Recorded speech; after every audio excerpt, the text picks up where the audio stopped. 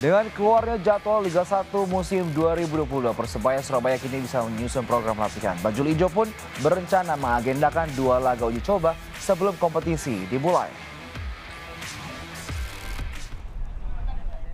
PT Liga Indonesia Baru atau PT LIB selaku operator kompetisi telah merilis draft jadwal Liga 1 musim 2022. Rencananya kompetisi Liga 1 akan dimulai tanggal 23 Juli mendatang.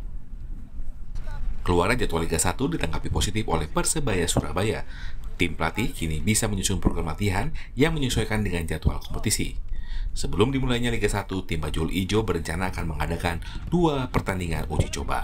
Ya bagus, jadi kita sekarang tinggal mengatur uh, irama latihan supaya nanti pemain ketika uh, kompetisi sudah berja berjalan, kondisi pemain sudah 100%. Tiga pekan lagi udah dimulai, kira-kira butuh berapa uji coba lagi? Uh, paling satu dua Sebelumnya, Persebaya Surabaya selama dua minggu menggelar pemusatan latihan di Yogyakarta mulai 24 Juni hingga 5 Juli kemarin. Setelah kembali ke Surabaya, skuad Bajul Ijo akan kembali digenjot latihan taktik dan strategi sebagai persiapan untuk mengarungi kompetisi Liga 1. Mahendra Triginanjar, Kompas TV, Surabaya, Jawa Timur.